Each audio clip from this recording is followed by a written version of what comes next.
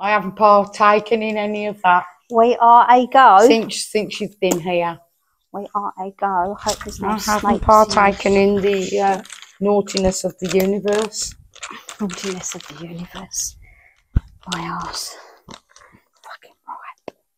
I don't know where my thing is. Oh, I put it just put it in the bag, but I'm, your bag. yeah, I'm trying to just do this because Why don't you build me up, baby? just let me go. I've got my magic wand, and the baby Jesus will be born now. Asparagus, patronus, broccoli, and spinach. I see the light. Yeah.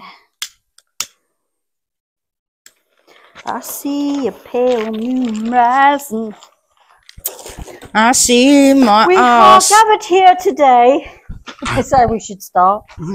We are gathered here today in this church. What's left of it? Dorinja. Yeah, I gave a young lad a lift into Dorinja. Did you? Yeah. Miserable old cunt. It said thank you, but it It's good. Did you talk about life? didn't say a word. Not a fucking dicky bird. So many better, nice places, and they like to to do it. You can never face the bright light though, can you? It's fucking shit, ain't it? It's just the way it is, isn't it? I've been looking at filming with light and stuff. and Yeah. What people use is these big, massive Oh, the diffuser things. Yeah. you know the things you put in the the cars. Mm. Sorry, mate. I just want to get this. I've got to look in my book. I've got to look in my book because I've done it on two different places. Oh, that was an idea. I know the solstice has gone, but you know my friend Sam that I keep talking about. I says, "Oh, she's a witch and she's a Stonehenge." She could talk about what she actually did on the solstice. That would be really good. And she said, "Any time, just let me know." We do it on like we did with Brad. Oh no, we can't. Well, we could. We could still film it. Um, glasses off. okay. Let me just look so I know where to look. I did do a lot.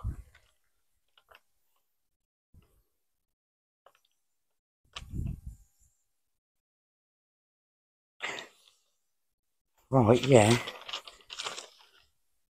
What should we start with? What with um okay. I've got a load of stuff and I've done it different, you know, in different when I do it on different days, Mm. right? But I really did go I've done like Edgar Case, I think it, that is pronounced C A or, or Case. He was a sleeping prophet. Basically, you had dreams. Yeah, and he foretold the future events while sleeping in a hypnotic trance. And then I put here major earth changes, new technologies, medical advancements, knowledge of new civilizations. Nostradamus, I actually didn't do a lot on because I because it's a lot of it is cryptic and vague. It's fake. It's nothing. Not one single thing came true. No, No, it's all fabricated and it got glorified over time. so it's been you know, people say like he predicted 9/11, Hitler. It, it wasn't. It was his stuff. It and it was a river. What he was doing, he was predicting things from the past all by using a, using astronomy, astrology, by like because the stars were in this Okay. position yeah, in so many years' time. You know, it's like saying, okay, this is going to happen, happen at this eclipse, and then another event's going to happen at the next eclipse. Sorry, sorry, I'm just trying to say, you know, like we're talking about the moon. Well, then, shall I get in touch with Sam for a couple of weeks' time to do solstice? Yeah. Because it's to do with all that, isn't it?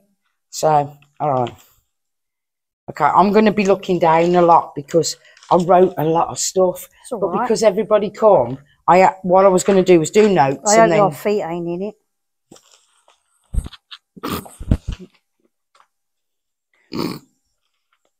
okay. Are we filming? Yeah. Oh shit! Sorry.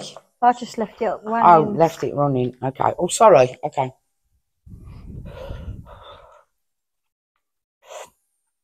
So we're doing we're going to introduce it, and it's about predictions.